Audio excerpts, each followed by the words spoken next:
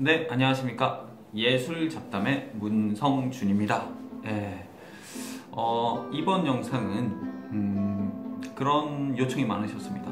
어, 미술 공부하고 싶은데 정말 어디서부터 시작해야 될지 모르겠어요. 미술관에 가면 도대체 이게 왜 미술을 봐야 되는지도 모르겠고, 어, 정말 이게 무슨 의미인지도 모르겠고, 가도 재미도 하나도 없고, 그러니까 아무것도 모르겠어요 라고 하시는 분들이 많습니다. 그래서 이렇게 말씀하시더라고요. 그래서 이거를 혼자 공부할 수 있게끔 책을 좀 추천해 주세요 라고 요청을 하셨습니다. 그래서 오늘 영상은 그런 분들을 위해서 어, 혼자서 읽어도 좋을 만한 미술책 top 10을 한번 소개를 해드리도록 하겠습니다. 물론 이번에 소개해드리는 책들은 먼저 주의하셔야 될 건 뭐냐 그러면 제 기준입니다. 제 기준이라는 말은 그 그 저 누구죠? 아무튼 유명한 작가분이 그런 말을 합니다.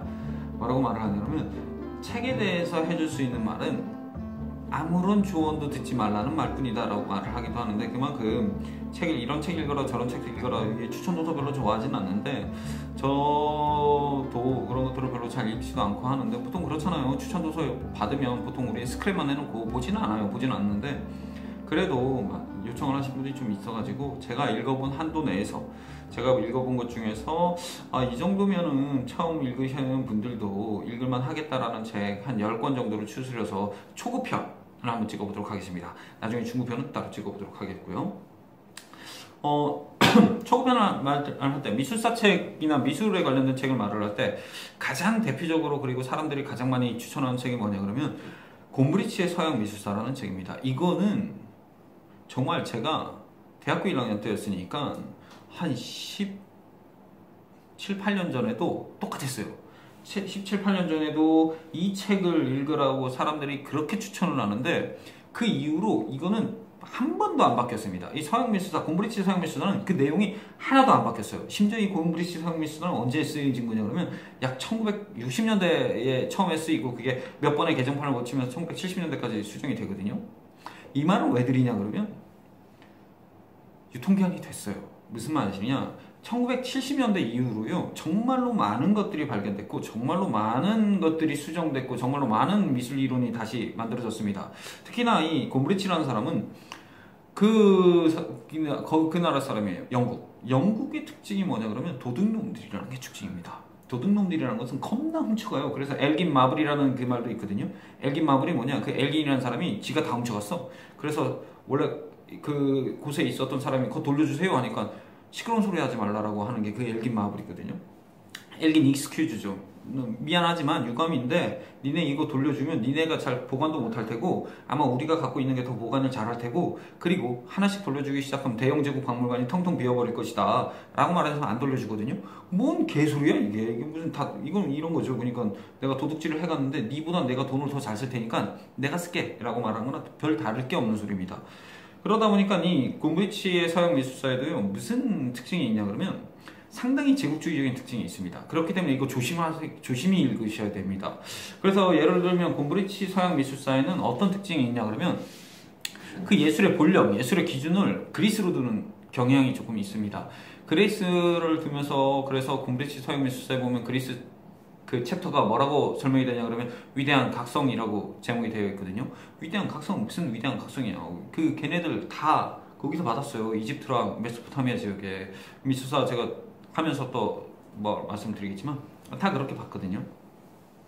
그 영향을 받으면서 만들어진 건데 마치 그리스 미술이 뭐 어, 대단해요. 위대하고 엄청나지만 그거에 크게 그거를 마치 예술에 뭐라고 말을 하는 것도 웃긴 거죠. 예. 어떻게 하다 보니까 추천하는데 비판을 하게 되네요. 근데 이 말씀을 드리는 이유는 곰브리치 서양미술사 읽으세요. 정말 좋습니다. 근데 조심하시면 조심히 읽으셔야 된다는 말입니다. 곰브리치 서양 미술사만큼 이렇게 개괄적으로 이렇게 하나하나 설명드린 책은 없습니다. 사실상.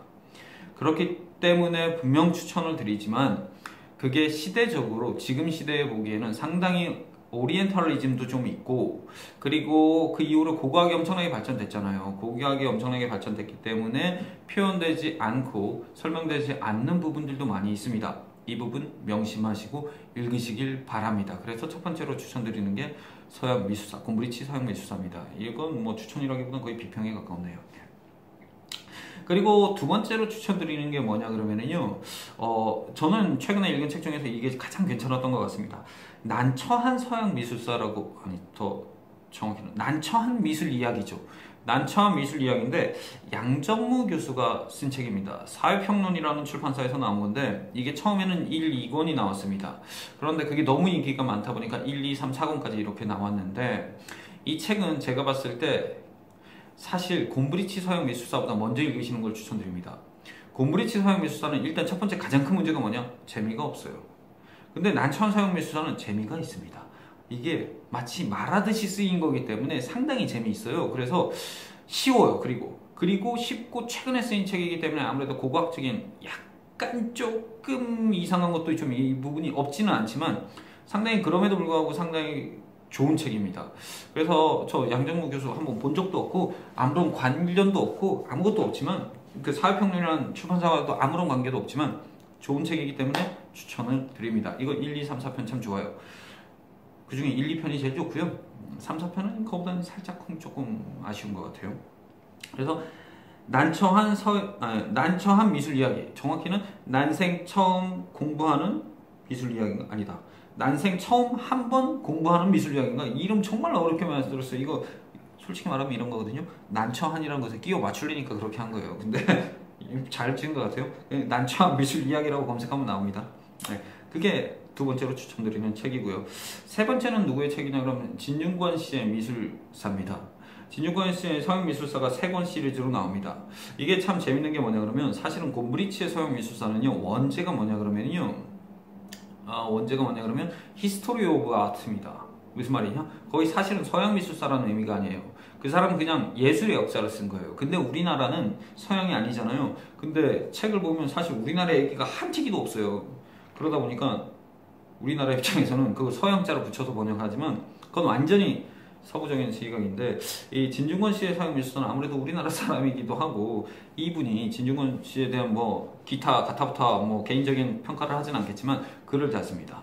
글을 참잘 써요. 이 진중권 씨는 음, 어, 학술적인 의미에서는 학술적인 의미에서는 뭐 여러 가지 이견이 있겠지만 그 대중적 글을 무척 잘 쓰시는 분 중에 한 분입니다. 그리고 요 분이 아마 거의 우리나라 미학의 거의 1세대예요. 그렇기 때문에 상당히 사실 어, 미학적인 부분도 많이 들어가 있습니다. 이 그 진중원 씨의 서양 미술사 세권 시리즈가 있거든요. 그 세권 시리즈는 미학적인 부분도 많이 들어가 있어서 읽기에 상당히 좋습니다. 그리고 미술사를 그냥 뭐 마치 우리가 미술사 하면 뭐라고 생각하냐 그러면 그 미술사의 어떠한 그 그림 설명 이 정도 수준으로 끝나는 게 아니라서 그 내막의 어떠한 깊이나 깊이 있는 어떠한 해석이나 이런 것들도 다 설명이 되어 있기 때문에 추천을 드리는 세 번째로 추천을 드리는 시리즈입니다. 사실 이렇게 말하면 곰브리치 한 권, 난천 네 권, 그럼 다섯 권이죠. 그리고 서영 그 진중권 세 권 이렇게 하면 벌써 여덟 권인데 그냥 하나의 시리즈를 하나로 보겠습니다. 예, 이렇게 보고 그렇게 해서 고브리치, 진중권, 난천 요 세 가지를 설명을 드렸 추천을 드렸고요. 그 다음 추천드리는 것은 클릭 서양 미술사라는 책입니다. 클릭 서양 미술사라는 책인데 이 클릭 서양 미술사를 추천드릴 때 살짝 고민스러운 부분은 뭐냐 그러면요 너무 축약이 돼 있어요. 너무 축약이 돼 있다 보니까 역사책이나 미술사책, 미술사책도 역사책의 한 부분이죠.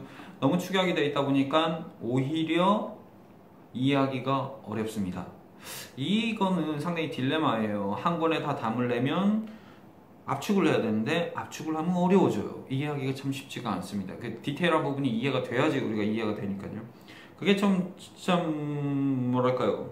좀 아쉬운 부분이긴 하지만 그래도 하나의 개괄적인 책으로 보기에는 클릭 사용 미술사 추천을 드립니다.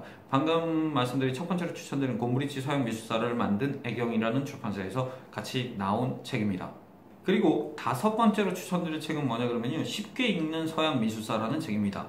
요거는 이키가미 히데히로라는 일본 작가가 쓴 책인데 뭐 일본 스타일이 그렇잖아요. 상당히 편하게 써요.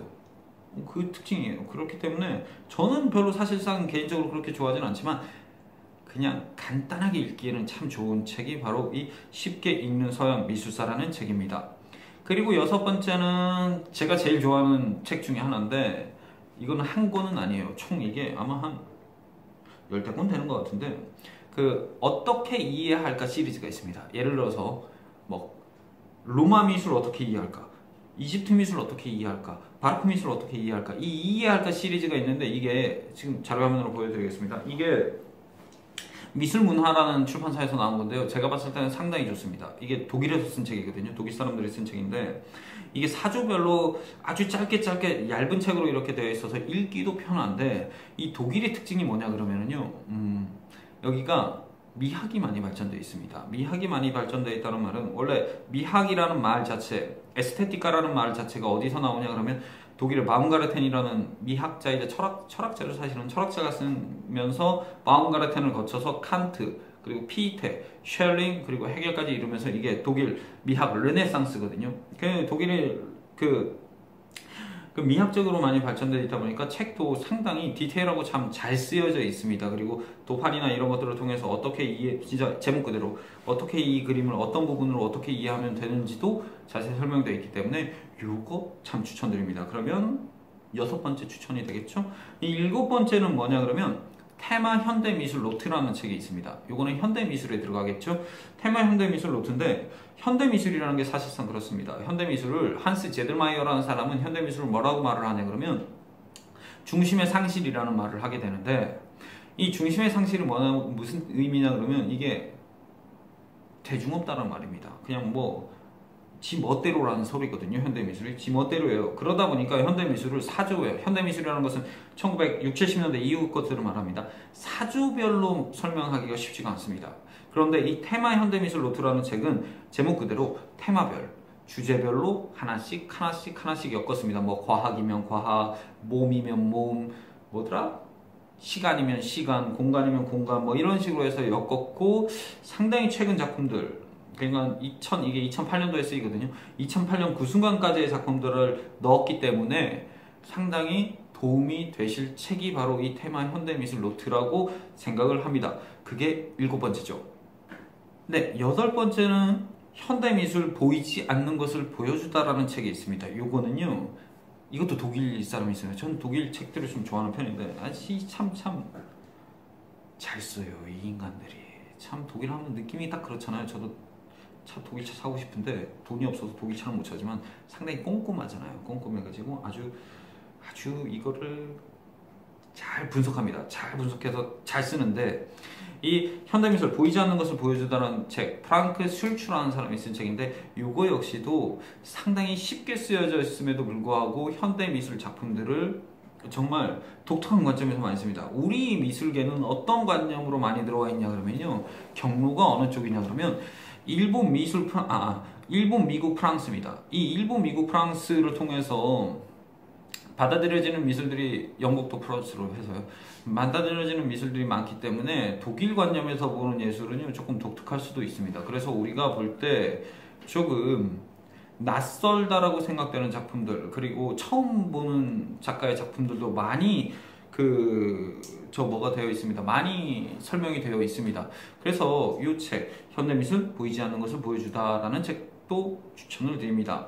이게 여덟 번째 추천이 되는 건가요? 상당히 쉽습니다. 그리고 이게 여덟 번째 추천이고 그리고 아홉 번째로 추천드릴 거는 뭐냐 그럼 미술관에 간 인문학자라는 책입니다. 안현배 교수가 쓴 책인데 어바웃 북스에서 나오는데 이 미술관에 간 인문학자는 미술관에 간 인문학자 맞죠? 이 미술관에 간 인문학자라는 책은 사실은 제가 쓰고 싶었던 책입니다. 제가 쓰고 싶었던 책이라는 것은 저는 예술 작품이라는 것이 결국에는 그런 거라고 생각을 합니다. 철학자가 아주 어려운 말로 정말 재미 한 티기도 없는 재미없는 말로 지루하게 어렵고 지루하고 재미없고 짜증나게 그리고 길게 하는 설명을 한 장의 그림으로 직관적으로 보여주는 게 예술가라고 봅니다. 그렇기 때문에 예술 작품 하나하나들, 그림 작품 하나하나들은 우리에게 한 권의 철학책만큼의 insight를 주는 경우들이 많이 있죠. 그래서 저는 예술 작품을 인문학적으로 읽는 것을 무척 좋아하는데 이 미술관에 간 인문학자라는 책은 물론 제가 생각하는 것과는 좀 다르지만 음, 물론 제가 생각하는 것과는 좀 다르지만 상당히 그런 부분에 있어서 상당히 충족해주는 책이라고 봅니다. 그리고 마지막으로 열 번째로 추천드릴 책은 뭐냐 그러면 This is Art입니다. This is Art라는 이 책은 마르니에 북스에서 나온 건데 일단 책을 딱 보시면요 어떤 느낌이 드시냐 겁나 두껍다는 생각을 하게 됩니다. 그리고 무척 무겁고요. 가장 큰 문제는 뭐냐 비싸. 책이 너무 비싸요.